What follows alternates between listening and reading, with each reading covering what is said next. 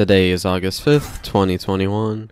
This is Mordecai, host of the updates, bringing you your daily Elden Ring update.